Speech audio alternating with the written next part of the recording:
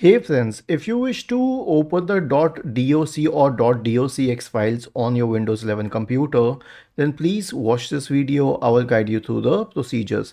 Now, before we move further, let me confirm what is the difference between .doc and docx. Word 2007 onward, Microsoft changed the format to .docx and the earlier ones, the ones created prior to that was .doc. So uh, I'll uh, show you the procedure for them. It's same for both. So these files are associated with Microsoft Word, specifically with Microsoft Word, but Microsoft Word is a paid software. So if you already have Microsoft Office on your system, you can open it directly by double clicking. And if you don't find the option, then right click on the file, select open with, and then select Word from the list. However, if you do not have this, you can still open this file.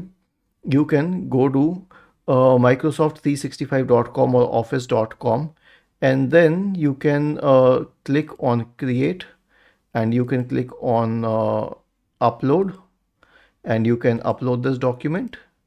And when you upload this document and then you open it it will open in the web.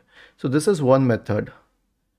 And it's almost the same as the offline one. The features are almost the same. You have almost all the same features as Microsoft Word other than this, you can use uh, Google Drive and I also use Google Drive for this job because it also supports this file format.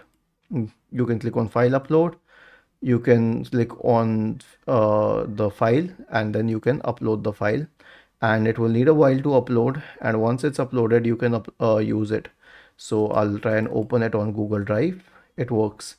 Other than this, there's one more option which I highly recommend and that is LibreOffice. So I'll type it for you. LibreOffice. So you can download LibreOffice from here and it has an app that allows you to open files in Word, Excel and PowerPoint.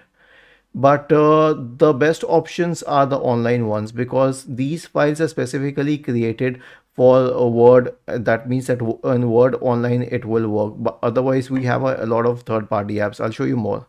So if you open the Microsoft Store and search for Office uh, alternatives, then you'll find a lot of these here. You can use any of these, the WPS Office Suite and so on, the Neat Office, Trio Office, and all of these editors. Was this helpful? If yes, then please subscribe to the channel and if not, then let us know in the comment section of this video on how we could help you further.